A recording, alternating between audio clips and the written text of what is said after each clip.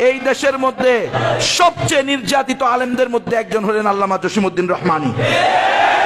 খোদার কসম করে বলছি, আমি জেলে ঢুকার আগে উনাকে বাহিরে কখনো সরাসরি দেখি নাই। কিন্তু আমাকে মামলায় জড়ায় দেওয়া হয়েছে উনার সাথে। কোনোদিন উনাকে আমি দেখি নাই। বরং উনার ব্যাপারে নেগেটিভ চিন্তা ছিল। যে কোনো কারণে হোক ঢুকছে। আল্লাহ মাফ করুক। একটা লোক এগারো বছর জেল খাটলে বাইরে, তার তো কিছু থাকে না। তাকে আবার জেলে দিতে হবে। এটা কি এই দেশের জন্য, উম্মার জন্য কল্যাণ হচ্ছে? আমার মনে হয় না কল্যাণ হচ্ছে। আমি বুঝতেছি না। আজকে কে জানি বলতেছিল যে জঙ্গি মনে হয় এই দেশে নাই। আমার ধারণা জঙ্গি নাই, কিন্তু জঙ্গি এই সমস্ত সংস্থাগুলো তৈরি করতেছে। কেন? আল্লামা হারুনিদা সাহেব বের হয়েছে আল্লামা আজিজ- আজিজুল ইসলামাবাদী বের হয়েছে আল্লামা হ্যাঁ রফিক মাদানি বের হয়েছে আল্লামা আলী হাসান উসামা, দামাত বারাকাত হুমুল আলিয়া, এরা বের হয়েছেন কেউ স্ট্যাটাস দিছে, আলহামদুলিল্লাহ। শাইক বের হওয়াতে আমি খুব আনন্দিত। তারে পরের দিন ধরে নিয়ে আসতেছে, কয় জঙ্গি। এটা কি? আবার ওই ছেলেদেরকে বলে দেওয়া হচ্ছে যে, তুমি তো এখনও বুঝো না জিহাদ কাকে বলে? ওই জেলখানায় চলে দাও সেটা বলো ইউনিভার্সিটি অফ জিহাদ সেখানে গিয়ে ভালো করে জঙ্গি হয়ে আসো। কি উদ্দেশ্য? কি মাকসাদ? কেন ধরা হচ্ছে? কেন মামলা দেওয়া হচ্ছে? একটু আগে হুজুর বললেন সাইকুল শুধুমাত্র আল্লামা দেলোয়ার হোসেন সাইদির ছবি পাইছে। একটা স্ট্যাটাস দিছে। আরে ভাই, একটা মোমেন, একটা মুফাসসিরে কোরআনের পক্ষে। দেলোয়ার হোসেন সাইদি একজন মুফাসসিরে কোরআন, একজন আলেম, তার পক্ষে একজন মোমেন স্ট্যাটাস দিবে, এটাই তো স্বাভাবিক। হ্যাঁ তার রাজনৈতিক চিন্তা, গণতান্ত্রিক চিন্তা, সেটা ভিন্ন, সেটার সাথে আমরা একমত না। আমরা গণতন্ত্রকে জায়েজ মনে করি না, গণতন্ত্রকে কুফুরি, সিরিকি, আলাদা ধর্ম মনে করি। সেটা ভিন্ন জিনিস। কিন্তু সে একজন আলেম হিসেবে একজন নবীর ওয়ারিস হিসাবে মুবাসসিরে কোরআন। হিসাবে তাকে কোরআনের ফাঁকি বলে সারা দেশের মানুষ ভালোবাসে। তার জন্য স্ট্যাটাস দিলে চাকরি চলে যাবে তার জন্য স্ট্যাটাস দিলে দলের পথ চলে যাবে তার জন্য স্ট্যাটাস দিলে মামলা খেতে হবে। তাহলে এই দেশের মানুষের বোঝা উচিত তোমাদের মুক্তির একমাত্র পথ ইসলামী খিলাফত। যতদিন এটা না আসবে ইসলামী শরিয়া বাস্তবায়ন না হবে। মোমেন, মুসলমান, আল্লাহর দেওয়া জীবন বিধানকে নিজের জীবনের পরতে পরতে বাস্তবায়ন করতে না পারবে, ততদিন শান্তি আসবে না। এটা গণতন্ত্র কর্নেওয়ালাদেরও বোঝা উচিত। না বুঝলে মামলা খাবেন, হুজুর বলছে। আপনি মনে করছেন দিনে হকের কথা বললে মামলা খাবেন না? উহু। আপনি মামলা হক কথা না বললে আপনারে মিথ্যা মামলা দিবে। কি আছে না নাই? রাস্তা দিয়ে হেঁটে যাইতেছে ধরে নিয়ে মামলা দিছে। কীভাবে টিকবেন? বাসার কারণ হয়ে যায় জাফাতি আপনি দুনিয়াতে আসার বহু আগে কয়দিন জেলে থাকবেন সেটা লেখা আছে না নাই? এই যে আমি যে বত্রিশ মাস জেল খেতে আসলাম, দুই বছর আট মাস, একদিন কম। ছয় তারিখে ধরছে, পাঁচ তারিখে ছাড়ছে। এই হিসাবে একদিন কম। এই বত্রিশ মাসের জেল কি আমি এমনি এমনি কাটছি? আমার তকদিরে লেখা ছিল না, এমনি হয়েছে এটা আমার কপালে লেখা ছিল। তকদিরে লেখা ছিল হ্যাঁ আমার স্ত্রী সন্তান, আমার আত্মীয় স্বজন, আমার ভাইয়েরা, আমার বোনেরা, আমার শুভাকাঙ্ক্ষীরা আমার জন্য কাঁদছে, মোহাব্বত করছে, তারা কান্নাকাটি করছে, ক্ষতিগ্রস্ত হয়েছে আমার সন্তানরা অসুস্থ হয়েছে আমার স্ত্রী অসুস্থ হয়েছে আল্লাহ তাদেরকে যা যায় খায়ের দান করবেন। আমার ভাইয়েরা আমাকে মহব্বত করে দোয়া করছে, চেষ্টা করছে। এটার জন্য তারা দাদা পাবে। কিন্তু আমার জেলে যে কয়দিন থাকার কথা, তার সে এক মিনিটও বেশি আমি থাকি নাই। আবার যে কয়দিন থাকার কথা, তার সে এক মিনিট কমও আমি থাকি নাই। লেখা তো আল্লাহই লিখে রাখছে। মানবীয় দুর্বলতার কারণে কান্না আসবে, পেরেশানি হবে, কিন্তু কখনো হতাশ হওয়া যাবে না। নিরাশ হওয়া যাবে না। তো আমি বলতেছি, দেখেন, এই দেশের মধ্যে সবচেয়ে নির্যাতিত আলেমদের মধ্যে একজন হলেন, অন্যতম হলেন আল্লামা জসিমুদ্দিন রহমানি। আমরা সবাই ওনার জন্য দোয়া করব। আল্লাহ যেন হজরতকে সুস্থতার সাথে দ্রুত ন্যাক হায়াত দিয়ে আমাদের মধ্যে ফিরিয়ে আনেন। আল্লাহ তালা ওনার ছায়াকে উম্মতের জন্য দীর্ঘায়ু করেন। এরকম আরও অনেক ওলামায়ে কেরাম বিভিন্ন নামে পড়ে আছে জেলখানার মধ্যে। আপনারা এই ওনাদেরকে কখনো ভুলবেন না। আর আমাদেরকে যারা মনে করেন আমরা দেশের শত্রু হ্যাঁ আমরা এই দেশের স্বাধীনতার শত্রু, না না, এটা মিথ্যা কথা। আমরা কখনো মুসলিম ভূখণ্ডের শত্রু হতে পারি না। মুসলিম অধ্যুষিত ভূখণ্ডের পক্ষে আমরা, যার কারণে আমরা গাজার পক্ষে কথা বলি। যার কারণে আমরা কাশ্মীরের পক্ষে কথা বলি। যার কারণে আমরা আফগানের পক্ষে কথা বলেছি, বলতে থাকব।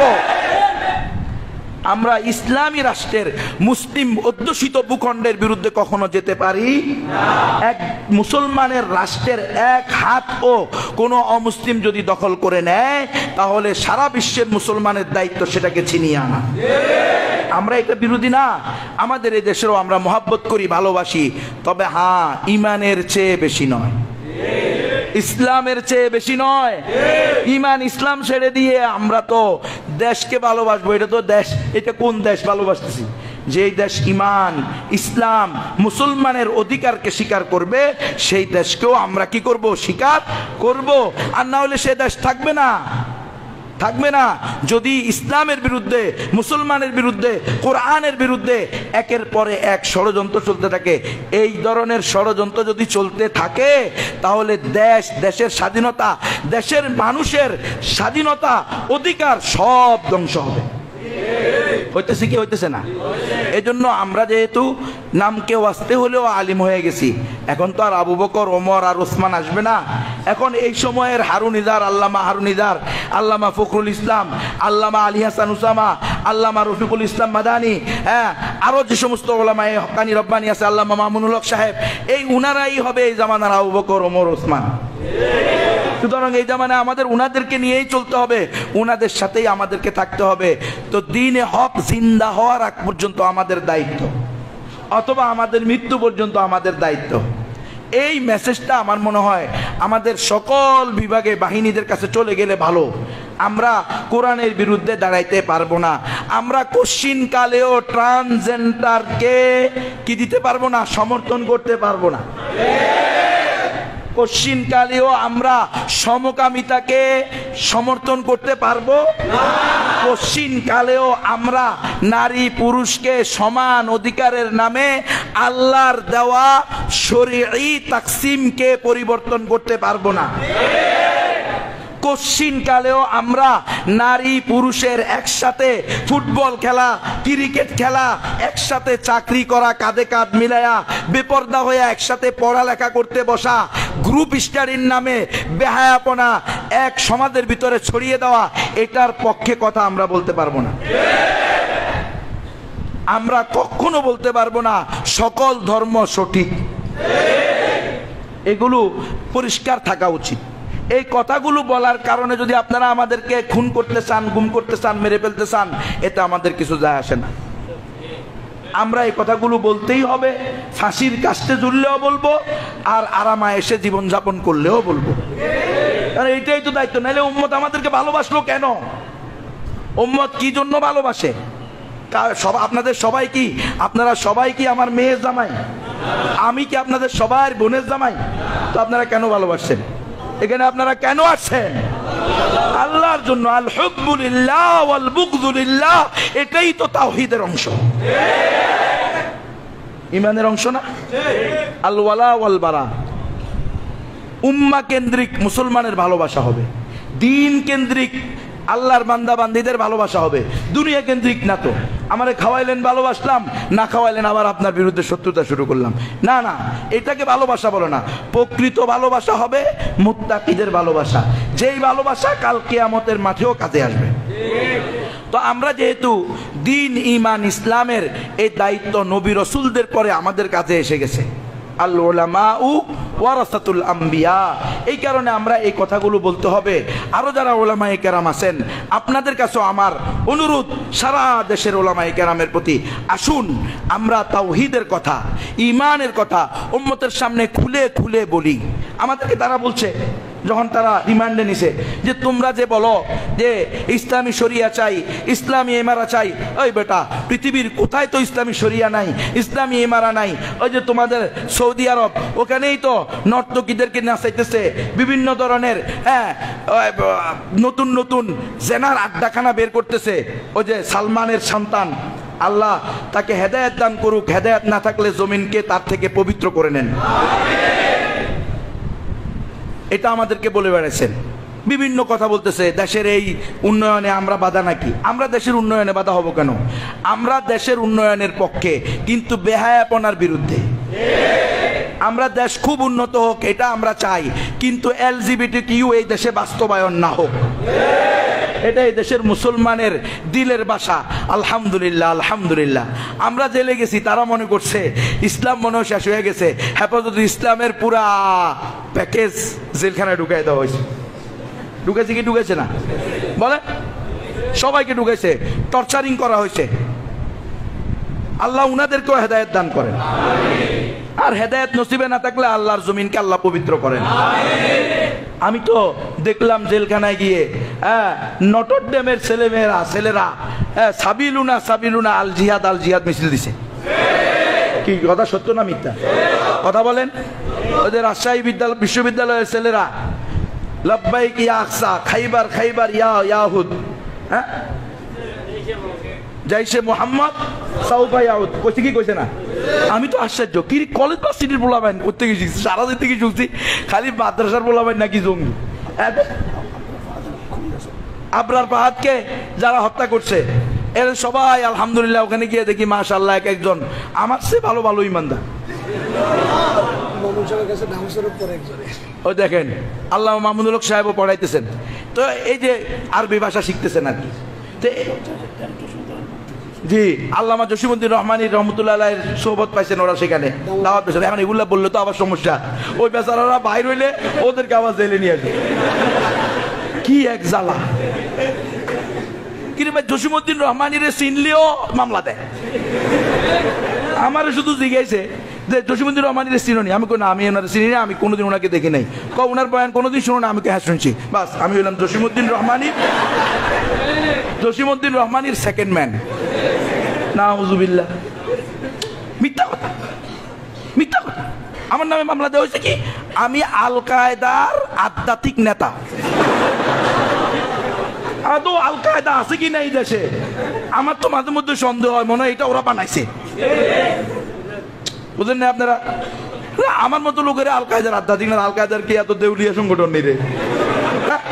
গুরুবীর মতো একটা হ্যাঁ সাধারণ লোকের নিয়ে যদি ওরা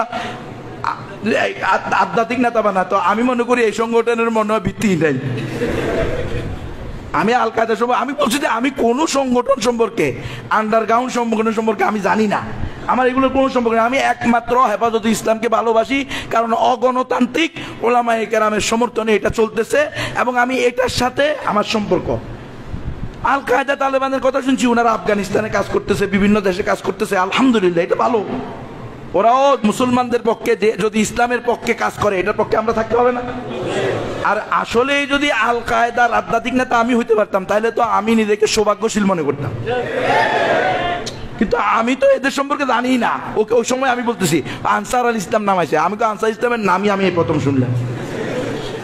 আমি, আসলে আমি জানতাম না। আমার লোক এই ধরনের পরে শুনছি যে এই ধরনের বিভিন্ন সংগঠন, ওনারা এগুলোকে নিষিদ্ধ ঘোষণা করছে। কিন্তু মামলা দিয়ে দেওয়া হয়েছে। কোথায় জসিমুদ্দিন বললাম না জসিমুদ্দিন রহমানের সাথে আমার কোনোদিন দেখা হয় নাই। শুধুমাত্র তার বয়ান শুনছি, বলছি। তো ওনার বয়ান তো নেটে আছে। নেট পরিষ্কার করে দেন আপনারা। এটা ধুয়ে টুয়ে হ্যাঁ? এটাকে সাফ করে দেন? সরকার চাইলে পারে না? বলে না যে অমুক সাইট বন্ধ করে দিব, অমুক সাইট বন্ধ করে দেন। কিন্তু এটার জন্য এখন এখানে বয়ান আছে, বিভিন্ন বয়ান শুনতেছি, উনার বয়ান আছে, শুনছি। এতে, এটাতে মামলা দিতে হবে। এই যে মানুষের উপরে এইভাবে জুলুম নির্যাতন চলতেছে, এগুলোর কারণে কি আসলে দিনের পথে, ইসলামের পথে মুসলমানদের আগ্রহ বাড়তেছে না কমতেছে? ইন্নামাল উসরি এটাই হলো, যত রাত্র গভীর হবে, তত প্রভাত কাছে আসবে। দেখেন, আমারে মামলা দিছে কিসের? আমি তো বলতে চাইতেছিলাম না শাহেক বলতেছে। আসলে কথা বলব কি, আমি জি, সংসদ ভবনে একটা ছেলে, সে মানসিকভাবে অসুস্থ। আমি তা, আমরা সবাই তাকে দেখছি ওস্তর জীবনও দেখছে। ওই ইয়াতে ছিল হাই সিকিউরিটিতে আপনি তো হাই সিকিউরিটি কম ছিলেন। সিরাজগঞ্জ বাড়ির আল সাকিব নামের ছেলেটা আসলেই মানসিক ভারসাম্যহীন। সে জেলখানায় গিয়ে একটা কারারা কারারক্ষীকে পিটাইয়া তিন মাস বা ছয় মাস একটা সময় সে পাগলা গারদে ছিল। অর্থাৎ জেলখানায় একটা ভবন আছে ভাওয়াল। বিল্ডিং এর নাম হলো কি? ভাওয়াল। ওই হাই সিকিউরিটিতে ওটার নিচতলা হলো পাগলা গারদ। বাংলাদেশে পাগলা গারদ কোন জায়গায় আছে? পাবনা আছে না? তো জেলখানায় পাগলা হইলে প্রাথমিক অবস্থায় ওইখানে রাখে। কোথায়? ওই বাওয়ালের নিস্তালা। আমি যদি মিথ্যা বলি আপনারা খবর নিয়েন। আমি যখন ছিলাম হ্যাঁ এগুলো আবার পরিবর্তন হয়। ওনারা এখনও আছে। এখনও আছে না? বাওয়ালের নিস্তালায় ওনারা রাখতো। পরিবর্তন হইতে পারে। আমি মাঝখানে এগারো মাস আবার এখানে ছিলাম চট্টগ্রাম। তো ওখানে তাকে পাগল হিসেবে রাখা হয়েছে। আমি আশ্চর্য হইলাম যে লোকটা পাগল হিসাবে অলরেডি জেলখানার মধ্যে ছিল, সে নাকি সিরাজগঞ্জ থেকে তরবারি নিয়ে আসছে হ্যাঁ সংসদ ভবনে হামলা করার জন্য। হ্যাঁ রে আল্লাহ, কোথায় যাব? দুঃখের কথা কাকে বলব?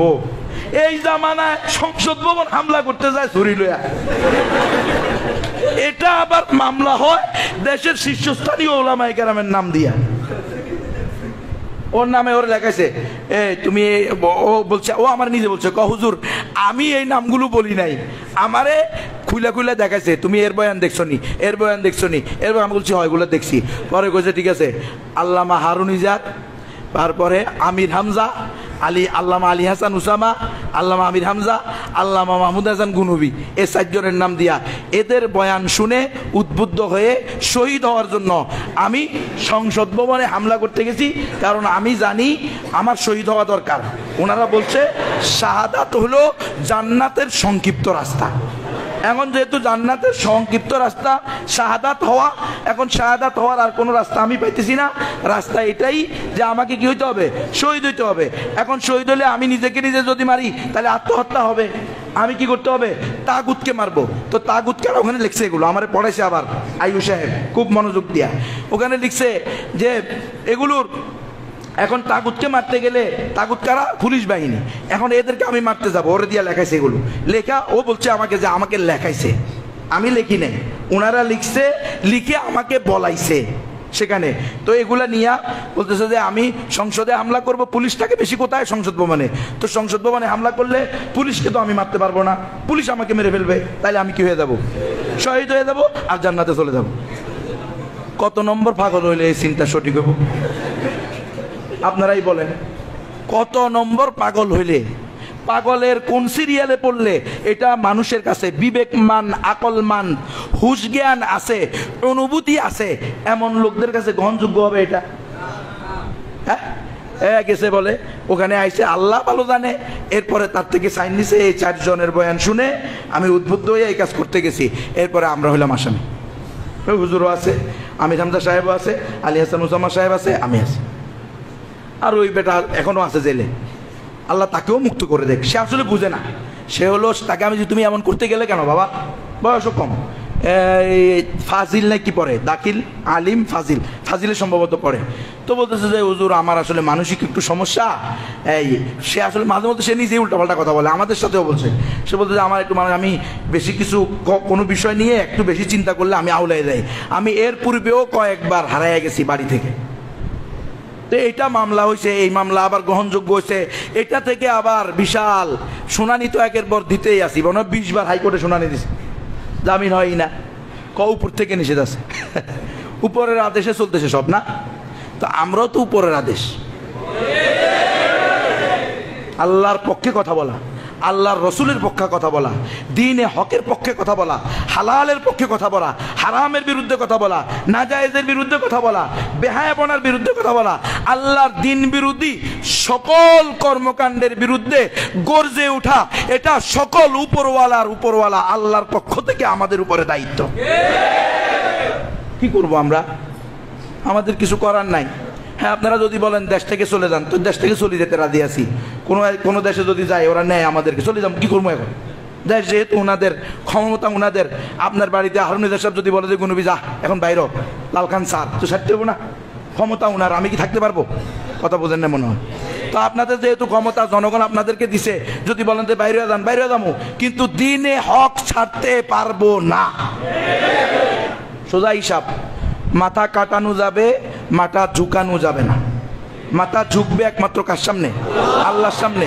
আমি মনে করি এই ওলামায়ে কেরামের উপর যে জুলুম হচ্ছে, এই তহিদ ভাই আরও অনেক ভাই, আপনারা তো আমাদেরকে চিনেন এই জন্য আমাদের নামে স্ট্যাটাস দেন, মহাব্বত করেন, সহযোগিতা করেন, খোঁজখবর নেন। কিন্তু অনেক ভাইয়েরা আছে, যাদেরকে কেউ চিনে না, যাদের নাম কেউ জানে না, তারা অনেক ক্ষেত্রে দেখা যাবে আমার চেয়ে অনেক উত্তম। সর্বদিক থেকে আমি ওনাদের জন্য দোয়া করি, আল্লাহ যেন ওনাদেরকেও কল্যাণকর মুক্তি দান করে। ওনাদের পরিবারের কাছেও ওনাদেরকে ফিরায় দেয় ওনাদের সন্তানের বুকেও ওনাদেরকে আল্লাহ ফিরায় দেয়। আহা, সতেরো বছর, আঠারো বছর, তেরো বছর, দশ বছর, বারো বছর, নয় বছর, আট বছর পরে আছে তো পড়ে আছে। আর একটা কথা হলো, না বললেই নয়, জঙ্গি মামলা মানি হলো না মানুষ। যারা জঙ্গি মামলা খাবে, তারা হবে কি? না মানুষ না মানুষ। আমার অনেক চেষ্টা করছে মানে বলে যে, তুমি হেফাজত ইসলামের তো, হেফাজত ইসলামের তো তোমার কোনো পথ নাই। তোমার আমরা হেফাজত ইসলামের মানবো কীভাবে? আমি বলছি পথ থাকতে হবে কেন? আমি হেফাজত ইসলামের কর্মী। আল্লামা শফি সাহেব, আল্লামা জুনায়দ বাবু নগরী সাহেব, রহিমাহুমুল্লাহ রহমাতান ওয়াসিয়া। ওনারা দুইজনে আমাকে হেফাজত ইসলামের বক্তা হিসেবে নিয়োগ দিছে। এবং ওনারা বলছে, যতদিন এই সানের চালক সম্মেলন চলবে, গুনবি বয়ান করবে, এ কথা বলে আমাকে ওনারা ওখানে ঢুক ওনাদের পক্ষ থেকে আমাকে সেখানে নিয়োগ দেওয়া হয়েছে। এবং আল্লামা নুরুল ইসলাম জিহাদি সাহেব রহমতুল্লাহ আলাই উনি আমাকে যখন রিমান্ডে নেওয়া হয়, তখন ওনার কাছে ওই গোয়েন্দা সংস্থার লোকেরা জানতে চাইছে, গুনবি সম্পর্কে আপনাদের কি বক্তব্য? তখন উনিও লিখে পাঠাইছেন, আমার সামনে গোয়েন্দারা পড়ে শোনাইছে যে, গুনবি হলো হেফাজত ইসলামের বক্তা, দাওয়াতুল ইসলামের জিম্মাদার। অমুসলিমদের মাঝে দাওয়াতি কাজ করে, বিশেষ করে পার্বত্য চট্টগ্রামে। স্পষ্ট না কথা? কিন্তু এর পরেও শুধু হেফাজত ইসলামের কেন্দ্রীয় পদ নাই কেন? এই জন্য আমাকে হেফাজত ইসলামের মামলা দেয় নাই। দিছে হলো জঙ্গি মামলা। আর জঙ্গি মামলা যাকে দেয়, সে হয় না মানুষ। তার কোনো অধিকার নাই মানবতা নাই বাক স্বাধীনতা নাই ব্যক্তি স্বাধীনতা নাই তার জন্য কোনো মানবাধিকার সংগঠন নাই তার ছেলে নাই তার মেয়ে নাই তার বাপ নাই তার মা নাই তার পরিবার নাই তার শ্বশুর বাড়ি নাই তার জন্য এমপি নাই তার জন্য মন্ত্রী নাই তার জন্য নেতা নেত্রীরা নাই তার জন্য কোর্টের উকিলরা নাই জজরা নাই আমাকে জজ পর্যন্ত মারতে উঠছে ওয়ান সিক্সটি ফোর দিব না বলছি কেন মিথ্যা কথার উপরে আমি ওয়ান সিক্সটি ফোর দিব কেন আমি তো এগুলোর সাথে জড়িত না। আমি ওয়াজ করছি কোরআন হাদিসের আলোকে। আমার ওয়াজ ভুল হতে পারে, অবশ্যই ভুল হতে পারে। আমার সে বড় আলেম এই দেশে আছে আছে না নাই? আমি কি নিজেকে বড় আলেম দাবি করছি? যে নিজেকেই সবচেয়ে বড় আলেম দাবি করবে, সে তো আস্থা শয়তান। আমি এটা কীভাবে দাবি করতে পারি? আমার মুরব্বী কেরাম আছেন, আমার আকাবেররা আছেন, আমার উস্তাদরা আছেন, আমার আসাতে জায়গারামরা আছেন, আমার যদি ভুল হয়, ওনারা আমাকে ডাকবে। এই গুনবি, আসো। কেন এই বয়ান করছ? এটা ভুল। এটা ঠিক করো, আমি ঠিক করব। ইউটার্ন করব, সাথে সাথে করব ইনশাল্লাহ আপনারা উস্তাদদেরকে জিজ্ঞেস করবেন। আমি কখনো কোনো বিষয়ে ওস্তাদরা আমাকে ভুল ধরাই দিলে, দ্বিতীয়বার এটা বলছি, আমার জানা মতে এমন হয় নাই। আমার মুরব্বীরা আমাকে বলে দিবে, আকাবেররা বলে দিবেন। কখনো এই ধরনের এত বড় দুঃসাহস আমার নাই যে আমি ভুল হওয়ার পরে আবার এটার উপরে স্থির থাকব। ইনশাল্লাহ কোনো ব্যাখ্যা ছাড়া আমি ক্ষমা চেয়ে নিব। কোনো ব্যাখ্যা ছাড়া, যে কেউ আমার সামনেও করতে পারে, সবার সামনেও করতে পারে, একাও করতে পারে, কোনো অসুবিধা নেই। আমি বললাম, আমি ভুল করে থাকলে এদেশে ওলামাই কেরাম আছে, তাদেরকে ডাকেন, আমি তোবা করব। বলতেছে, না, আমরা আলে মানলে তো তুই বলবি যে দালাল আনছে। দেখছেন নি কথা? তো আপনারা দালাল আনবেন কা? হকপন্থী ওলামাই কেরাম মানে এদেশে হকপন্থী ওলামাই কেরাম নাই? তাদেরকে আনেন, তাদের সাথে বসান। তো আমি বলতেছিলাম যে, এই জঙ্গি মামলার পরে আমাদেরকে বানানো হয় না মানুষ।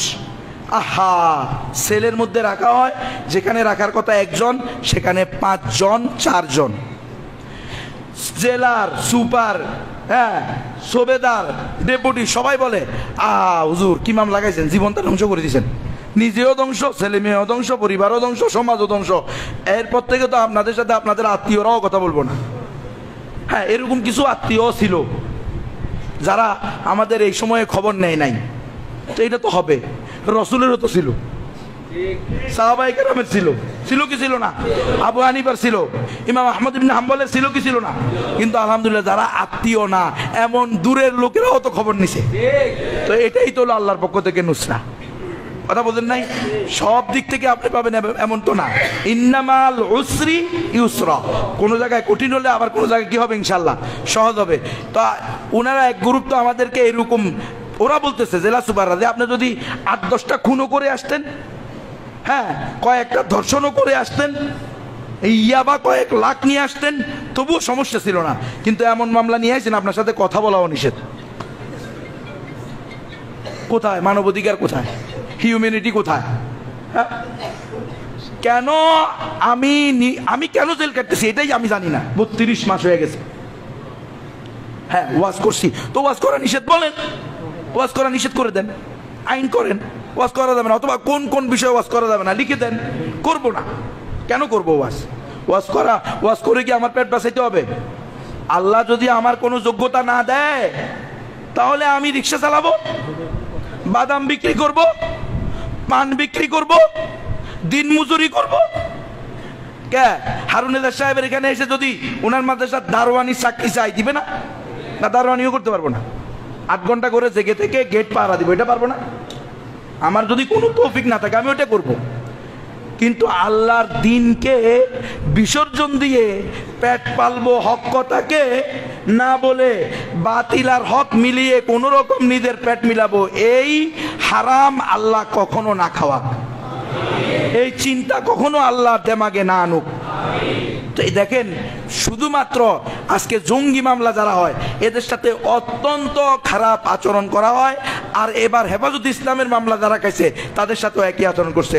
না হলে চোর, গুন্ডা বদমাস ধর্ষক হ্যাঁ বড় বড় সম্রাট, এদেরকে একেবারে ফ্রিজ দিয়ে মোবাইল দিয়ে, তাদেরকে এরকম ভিতরে রান্নাবান্নার ব্যবস্থা করে দিয়ে, তাদেরকে এরকম সব জায়গায় চলাফেরার ব্যবস্থা করে দেওয়া আছে। কিন্তু আমরা যারা হেফাজত আর জঙ্গি নামে মামলা খাইছি, তাদের কোনো ধরনের ঘর থেকে ওই নির্ধারিত যে এরিয়া আছে, এটার ব্লক বলে সাত আট রুমের এক ব্লক এখান থেকে বের হওয়ার অনুমতি নেই। মাসকে মাস, সপ্তাহকে সপ্তাহ, বছরের পর বছর শরীরের রোদ লাগানোর ব্যবস্থা নেই। বুঝছেন? তাহলে কীভাবে একটা মানুষ সেখানে সুস্থ থাকবে? তো একেবারে স্থায়ীভাবে পঙ্গু করে দেওয়ার একটা প্ল্যান আল্লাহ তালা হেফাজত করুক। মানবাধিকার সংগঠন যারা আছেন বা যারা বিভিন্ন গোয়েন্দা সংগঠন এখানেও আছেন, আমি জানি থাকবেন, এটাই স্বাভাবিক, থাকতে পারেন। কিন্তু এই কথাগুলো পৌঁছান। এটা অমানবিক। আমি মামলা কেছি আমার রায় হবে। আমি যদি অন্যায় করে থাকি, আপনাদের চোখে অপরাধী হলে, দেশের আইনে অপরাধী হলে আপনাদের দেশি আইনি। হ্যাঁ আমরা আল্লাহর আইন ছাড়া কোনো মানব রচিত আইন মানি না।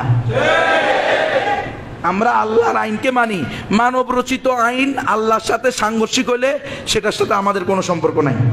আল্লাহর আইনের সাথে সাংঘর্ষিক না হইয়া মানব রচিত আইন আল্লাহর আইনের সমর্থনে হয়, এটা আমাদের কোনো সমস্যা নেই মানতে।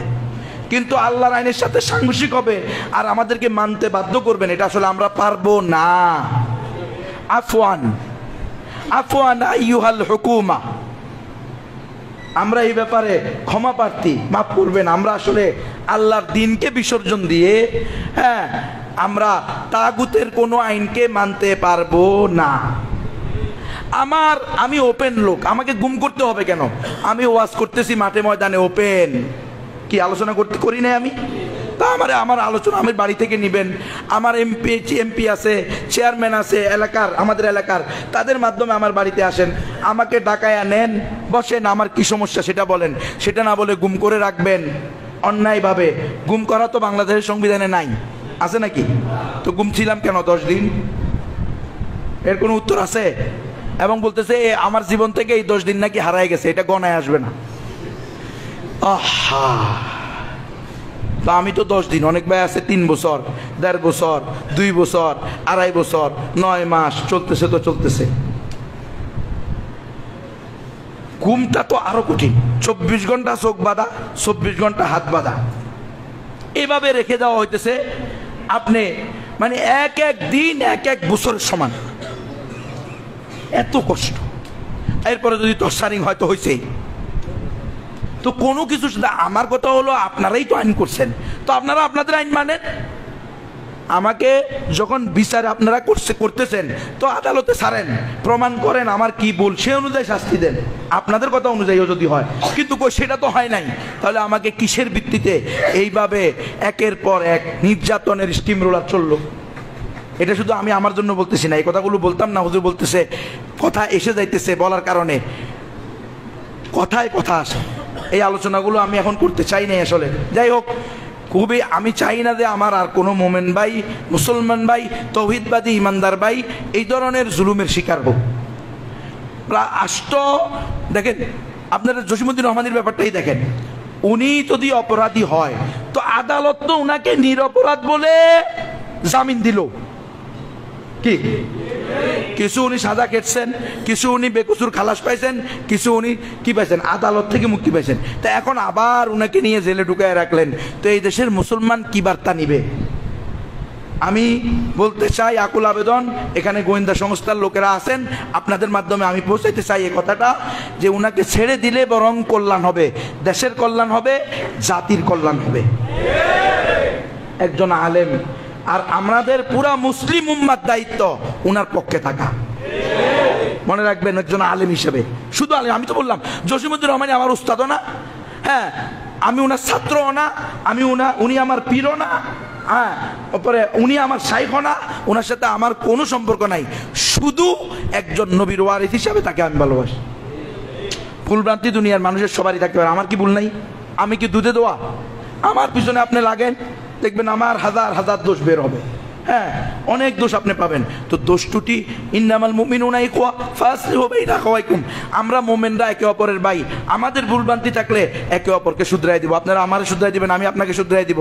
কিন্তু একজন আলেম জেলখানায় থাকুক এটা কি কোনো মুসলমান চাইতে পারে? আহা আপনারা দেখেন আজকে আল্লাহ আফগানিস্তানকে বিজয় দিয়েছে। দিছে কি দেয় হ্যাঁ, এটা করলে তো কব জঙ্গি এইগুলো কি আমার কথা না? এগুলো তো পত্রিকা বলতেছে।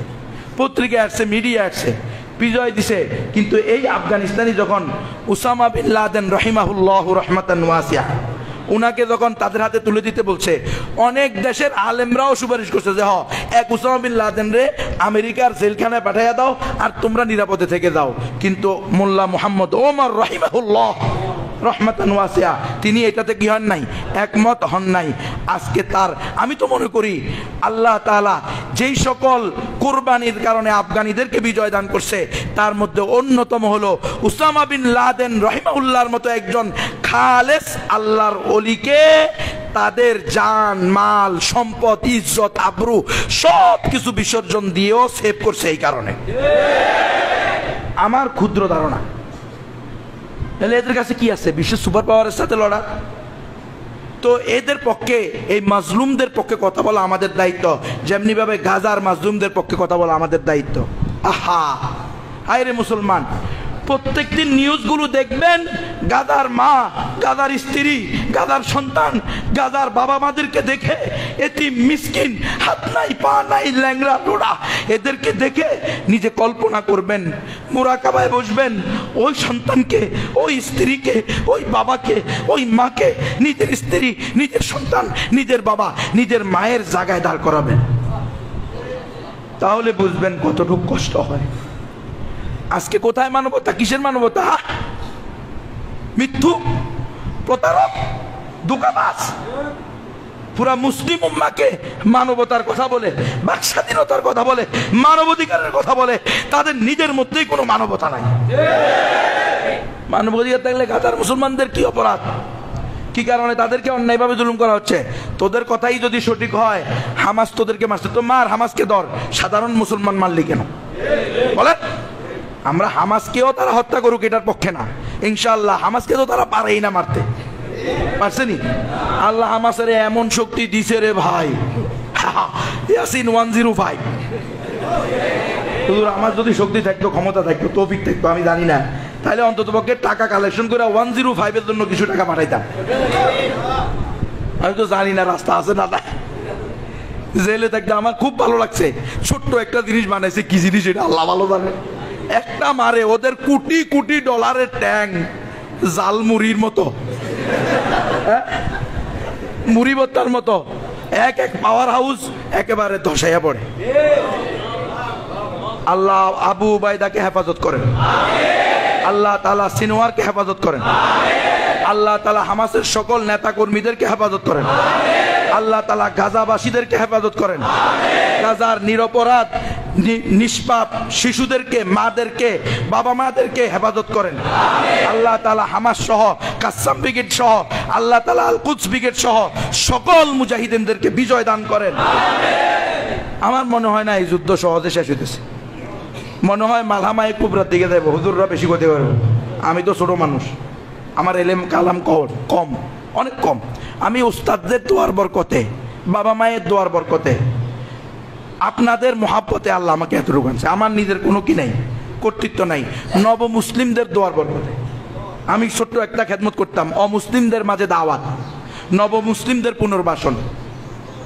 এই ছোট্ট খেদমত এতটুকুর কারণে আল্লাহ নাদের দোয়ার বরকত আমাকে এখানে আনছে। নাহলে আমার ভিতরে আমি খুঁজে দেখছি কোনো যোগ্যতা নেই। পুরাটাই মিন ফজলিল্লাহ।